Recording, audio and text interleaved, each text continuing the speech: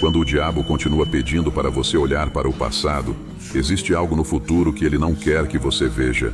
Não permita que ninguém te leve de volta a lugares onde Deus já te tirou. Faça as pazes com a sua história, mas pare de revirar o lixo.